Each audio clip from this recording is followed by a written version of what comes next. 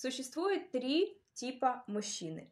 Первый мужчина, я его называю вкладывающий в свою женщину, второй мужчина, вкладывающий в себя, и третий мужчина – это ожидаемый, я его так называю, ожидает.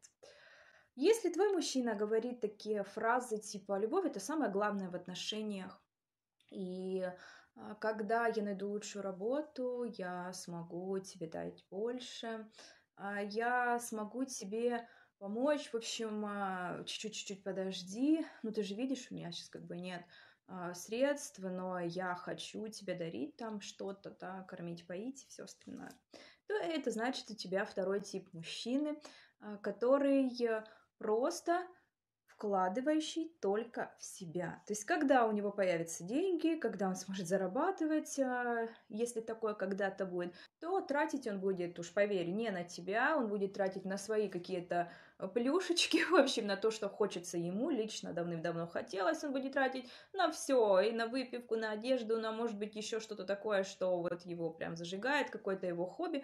В общем, а, не на тебя. Это второй тип мужчины, который будет тратиться только на себя. Если мужчина вот вообще никогда ничего не предлагает, э, никакой помощи, в общем, ничего, никаких намеков не понимает, э, то тогда это тоже второй тип мужчины, который вкладывающий только в себя. Как понять, вот что мужчина первый, да, тот самый единственный, да, который бывает, мужчина, вкладывающийся в свою женщину. Такого мужчину видно сразу. То есть это не бывает такое, что ты там ждешь, что он там за тебя заплатит, там за такси или там накормит тебя. Нет, это не нужно ждать. Такой мужчина, он прям виден сразу, он а, сразу же приносит тебе еду, сразу же тебя угощает, сразу же тратится, ложит тебе на телефон. В общем, это такой мужчина, который просто вкладывается в свою женщину. То есть он все, все, все для нее делает, старается. И, в общем, это нормально, это хорошо. Это, наверное, самый лучший тип мужчин, который я вообще в своей жизни встречала. Редкость, но бывает такое.